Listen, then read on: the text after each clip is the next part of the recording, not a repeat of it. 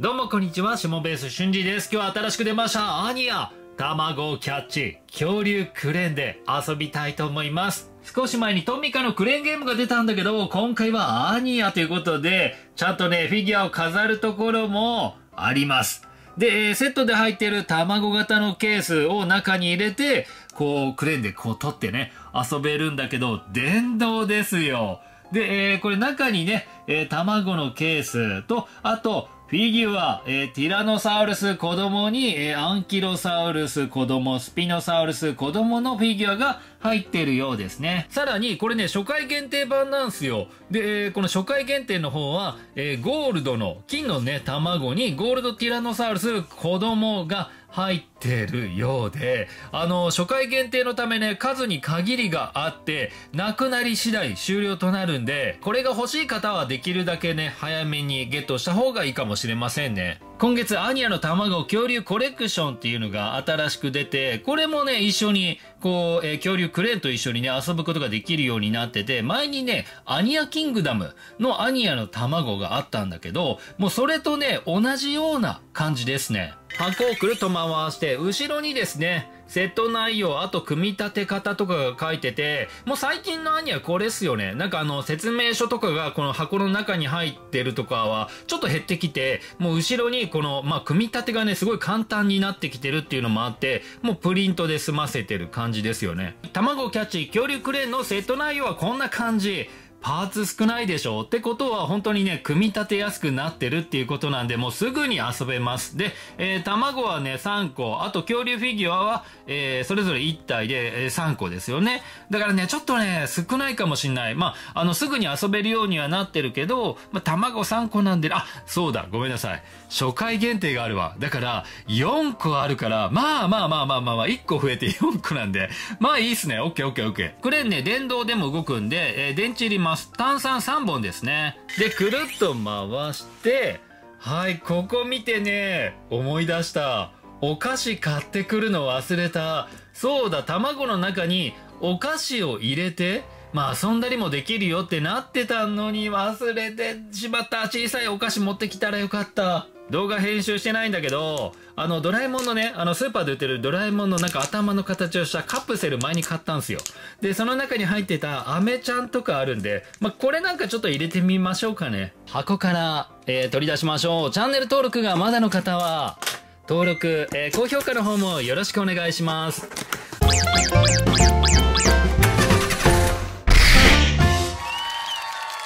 遊ぶ準備始めますね。まずはクレーンの本体の底に、え電池を入れます。プラスをね、回して。はい、えーここにですね、炭酸3本ですね。電池セットできました。で、これそこにはクッション材、このゴムがあるから、こう下に置いた時にね、動きにくくちゃんとなってる。トンネルパーツの下に柱を差し込みます。本体横に差し込みます。こちらのボードにラベルをペタッと貼って、上に差し込みます。段々の岩場をですね、この前の方に、はい、セットして、トンネル用シール貼るの忘れてます。この、ここですよね。トンネルの上あのね、箱の写真だと貼ってないんだけど、この位置に貼るって書いてあったんで、ここに貼りましょう。えー、これいけんのか？貼るの難しい。なんかね、ここに貼っちゃうと、この凹んでるのとかもね、埋まっちゃう、隠れちゃうんすよ。えー、どうしよう。こう、こうなのか。まあ、こうしたらいけるんだけど。はい、これでいっちゃいましょう。あとは滑り台を、もうここにセットするだけ。完成。組み立て本当に簡単で高さが約ね37センチぐらいで奥行きが約27センチで、え幅が約30センチとなってるんで意外とコンパクト。クレーン手前にハンドルとレバーがあります。で左側のレバーを動かすとこの、え中ですね。中にあるこのアームが上下に電動で動くようになっててであとこの右側のこのハンドル、これはね、手動になってるんだけど、えー動回すと、えーこの、えーアームが左右に動くようになってると。中にカプセル入れてないんだけど、ちょっとやっちゃいましょうかね。で、電源スイッチがレバーの奥にあるんで、これをオンにすると、あ、音楽とかは流れないね。レバーをね、手前に倒すと、下に行くんですよ。そうそう、今一番下から動かないね。で、えー、奥に倒すと、はい、こんな感じでアームが上に行きます。右側のハンドルを回すと、こんな感じで、はい、アームが動いてますね。こんな感じで動きます。上下の動きが電動で、左右は手動となってて、楽しめる、これ。で、この、レバーの下の部分、これ、岩のような感じになってて、真ん中、へこんどんすよ。ここにですね、セットのね、ケース、卵のケースをこうやって置けるようになってるんですよね。で、この周りに、アニアのフィギュアを、まあ、こんな感じで、まあ、セットできるから、乗せてね、まあ、こんな感じで遊ぶことができるようになってますね。クレーン本体の上にもね、こう、えー、フィギュアを飾るスペースがあるから、こことか、あと両サイド、もうここなんかにもフィギュアを乗せることができます。横から見るとね、こんな感じとなってて、で、ここにね、あの、卵の、えー、カプセルを入れる入り口があります。まあ、ここから、ポンポンポンポンこう入れる形ですね。クレーン本体の後ろはこんな感じ。いやー、めちゃめちゃ可愛くないですか、これ。お、なにこれ、モササウルスの頭とかかないやー、ものすごいかっこいい。あ、後ろにもフィギュアを飾るスペースがあって、あとボードの後ろもね、ほんと少しなんだけど、スペースがあるから、小さいフィギュアだったら、ここにね、こうやって乗せることできますよね。あと、この辺とかも乗せることができる。正面だけじゃなくて、後ろ側もね、かっこいい作りになってますね。で、あ、そうだ、この下もね、ここにもフィギュアをね、え、セットできるスペースがありますね。あと、この横ですよ。トンネルがここにあるんだけど、その下もなんかトンネルのように、でね、ここの下に何かセットして、こう飾ったりすることができるようになってますね。反対側の横には、えー、トンネルがあって、ここからね、カプセルが出てきます。で、滑り台があるんで、転がって、下の方ね、結構段になってるから、もしかしたらここで止まんのかなあ、途中、出っ張りがあるから、これ、まっすぐに落ちていくんじゃなくて、こう、カタカタしながら下に落ちてきそうな、そんな感じですね。で、フィギュアも、えー、飾るところがあると。ここは斜めだからちょっと厳しいか。はい。まあ、こんな感じとなってますね。卵のケース3個、白、青、赤の3色で、さらにこの初回限定が僕のはついてたんで、はい、金の卵が入ってましたね。で、パカッと割ると、こんな感じとなってて、恐竜クレーと一緒に遊べる、え新しく出たアニアの卵、ちょっとまだゲットしてないんで、アニアキングダムのアニアの卵。こちらとですね、ケース、えー、比べるともうね、同じです、これ。うん、形全く同じ。だから、アニアキングダムのアニアの卵を持ってる方でしたら、あの、一緒に遊べます。で、中のフィギュア自体もね、あのね、色が違うだけだと思う。あの、アニアキングダムは結構派手な色なんだけど、もうちょっと違ったね、カラーバージョンが今回新しく出たようですね。恐竜フィギュアの方見ていきますね。1体目はティラノサウルスの子供。茶色の単色になってる。アニアキングダムアニアの卵ダークフレームと、はい、えー、並べて見比べると、もう形はね、これ同じですね。色が違うだけです。このフィギュア、尻尾が動くようになってて、めちゃめちゃ動くんすよ。あと、後ろ足がこんな感じで動きますね。で、あ、お腹かわいい。ふっくらしてる。で、短い前足に、頭がかわいい。目がね、クリクリで、うん、すごい優しい表情のティラノサウルスになってます。で、頭こんな感じでね、動かすことができるんで、こう小さくして、卵のケースの中に、はい、まあ、こんな感じ。丸くしてね、はい、入れます。2体目、スピノサウルスの子供は、ティラノサウルスと同じ色なんだけど、これね、フィギュアね、稼働するところがない。アニアキングダム、アニアの卵、スピンと並べるとね、サイズが小さいんですよ。僕ね、さっきのティラノサウルスが同じだったから、残りの2体の恐竜もこれ同じなのかなって思ったんだけど違いましたね。サイズ小さいんだけど、この肌のざらついた造形に、あとスピノサウルスの特徴的な穂の形なんかはしっかりと作ってくれてる。で、目の塗装、さっきのはね、黒くなってたけど、これは色塗られてませんね。はい、まあこんな感じとなってて、えティラノだけ、めっちゃ形良かったね。ということで、もう一体のアンキロサウルスも、小さいんですよ。はい、まあこんな感じ。茶色のね、単色になってて、で、このゴツゴツした体。まあこの辺の形はいいね。アニヤの卵ゴッツと、えー、並べて見比べると、まあ、これぐらいのサイズ感。で、ちょっと小さいですよね。こちら初回限定、金のティラノサウルス。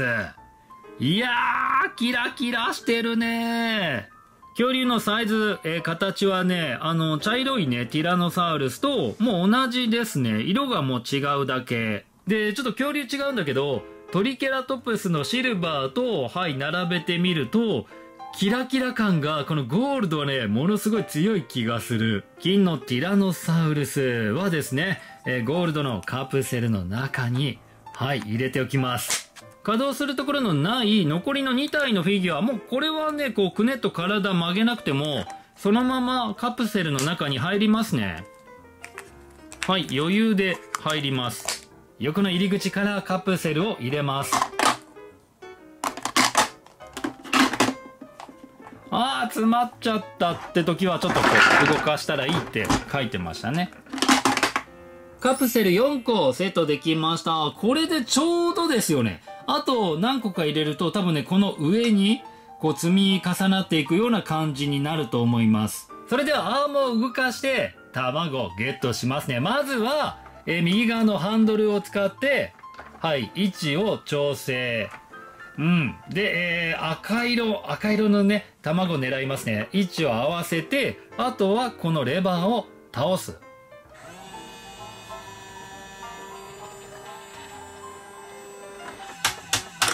オッケー。捕まえてる捕まえてる。レバーを奥に倒して持ち上げます。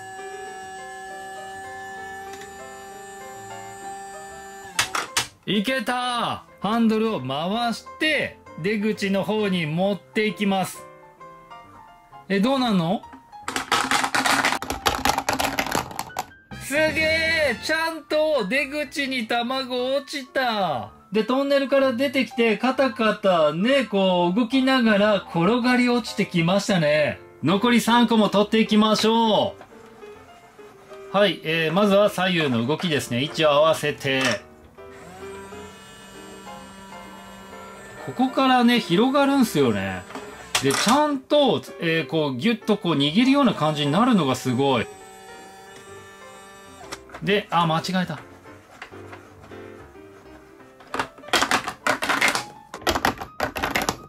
残り両端。これやっぱ端っこっていうのは難しいんじゃないのかな？はい、一番端にしました。これ掴めるのかな？お？端でも問題ない。あ、違う違う。上に上げないとね。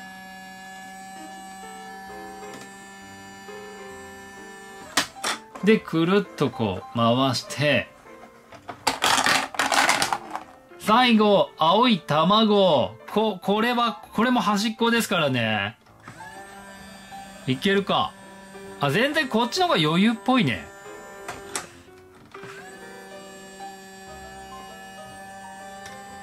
来ましたであとははい出口に向けて動かして卵ゲットあとね、卵のケースの中にこうね、お菓子を入れて、で、この、えー、本体の中にセットして遊ぶこともできますよね。あと別売りのアニアの卵、これはアニアキングダムのアニアの卵ですね。新しく出たアニアの卵も多分ね、同じだと思うんで、こうやってね、えー、ここにセットして遊ぶことができるようになってますね。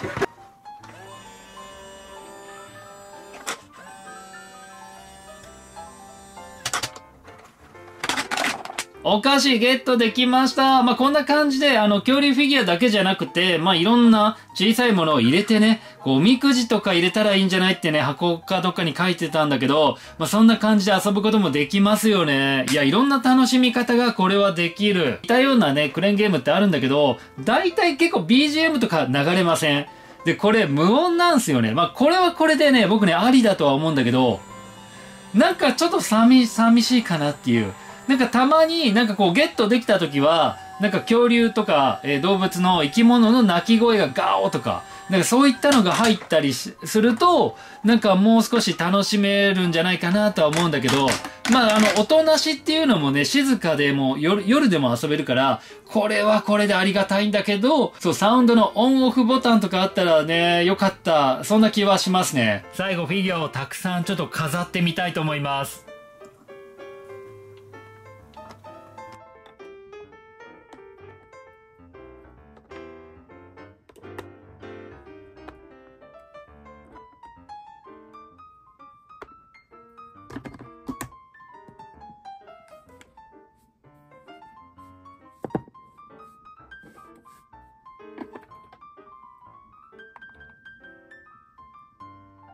大量のアンヤのフィギュアをこんな感じで整頓して飾ったり遊んだりすることができます。このクレーンマシンね、あの通常のゲームセンターのようなこうシンプルな形ではなくて、本当ね、フィギュアをセットできるようなクレーンマシンになってるから、うん、あのー、いろんな遊び方ができて、ほんと楽しめます。こちらアニア、卵キャッチ恐竜クレーン。まあ、クレーンのね、操作がものすごい簡単で、また組み立ても簡単でしょ。すぐに遊べるっていうのが良くて、なんといっても他のクレーンゲームと違うのは、アニアのフィギュアをこう飾る場所がちゃんと設けられてるっていうのがね、いいっすね。アニアコレクターの方には本当にね、こう満足してもらえるようなクレーンマシンになってました。アニアのクレーンマシンどんな感じなんだろうってね、まあ気になってた方も多かったと思うんでよかったらぜひ参考にしてください。はい、ということで今回はこの辺で今日の動画も最後までご視聴いただきありがとうございます。チャンネル登録がまだの方は登録にベルマークのチェックの方もよろしくお願いします。今回カプセルに、えフィギュアとお菓子入れたんですよね。で、あとおみくじ入れたら楽しそうって言ってたんで、